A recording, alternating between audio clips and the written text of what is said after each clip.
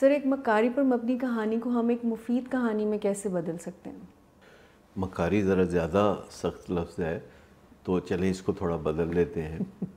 आ, एक गुमराही पर मबनी कहानी को हम आ, कैसे एक मुफीद कहानी में बदल सकते हैं और एक दूसरे के साथ बातचीत की राह हमवार हो सके और असल मसले के हल में जो तावन हम कर सकते हैं दूसरा उसको कबूल कर सके। क्योंकि जब हमारा झगड़ा फसाद होता है अपने ही प्यारे से तो जो सही मदद हम उसको दे सकते हैं वो भी कबूल करने से इनकारी होता है। जैसा कि आपने वालद के ख़त से जाना है कि वो हर बात माना करते थे। बिल्कुल ठीक।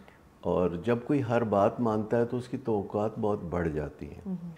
ऐसा शख्स जब फट पड़ता है तो फिर जोश में वो कुछ भी कह देता है।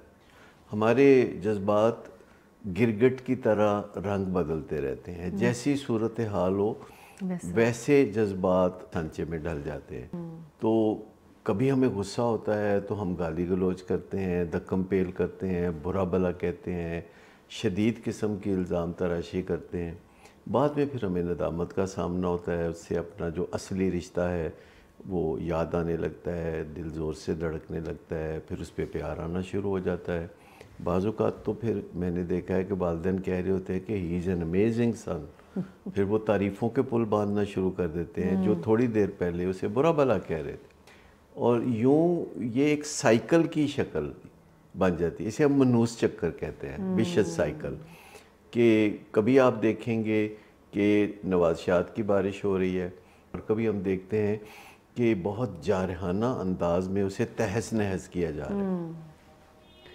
तो बातचीत का जब भी आगाज़ हो तो उसमें इब्तदाई चंद सेकंड बहुत अहमियत रखते हैं। उसमें हमें बड़ा मोहतात रहने की ज़रूरत होती है। अगर हम ये पहला मरहला अच्छी तरह तय कर लें तो आगे फिर स्मूथ सेलिंग होती है फिर बंदा थोड़ा बेहतर अंदाज में बात को जारी रख सकती है अमूमन हम किसी के साथ जो इल्लतों का शिकार है बातचीत शुरू करते हैं तो हम पहले ही तपे होते हैं हम्म। हम पहले ही ख्याली तौर पर हवा में दलतियाँ मारते हुए उस मजाकरात की टेबल तक पहुँचते हैं हम्म। तो ऐसे में हम दूसरे की बात सुनने के लिए तैयार नहीं होते सारा नज़ला उस पर गिराने की जल्दी में हम कुछ भी कह देते हैं हम्म। तो जैसे आप दूध रखते हैं केतली में तो आप किस वक्त उसकी आँच को थोड़ा कम करेंगे? जब वो केतली के अभी अंदर ही है और ऊपर को आ रहा है हम्म, या फिर जब केतली से बाहर फर्श पे होता हुआ नाली की तरफ़ जा रहा है?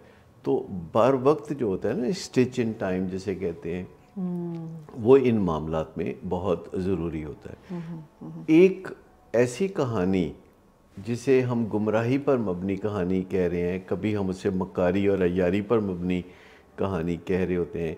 जब उस कहानी को हम मुकम्मल करना शुरू करते हैं तो हम बेहतरी की राह पर चलना शुरू हो जाते हैं। क्योंकि वो फिर एक मुफीद कहानी बनना शुरू हो जाती है जज्बात ठंडे होना शुरू हो जाते हैं और मजाकरात का रास्ता खुलना शुरू हो जाता है।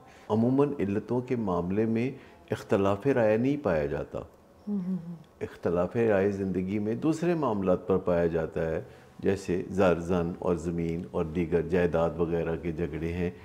यानी आप यूँ समझें कि आपका मकसद और आपके अहल खाना का मकसद मालज का भी मकसद वही होता है और मरीज़ का भी वही होता है। यहाँ जो बहुत बड़ी एडवांटेज है कि सबका मकसद एक ही होता है, है। वहाँ एक बहुत बड़ा मसला इसलिए दरपेश होता है कि एहतराम का फुकदान होता है। तो अगर इलाज करने वाले एहतराम में महारत रखते हों तो वो कामयाब हैं। अगर माँ बाप एहतराम में हुनरमंदी को सीख लें तो वो कामयाब हो जाएँगे।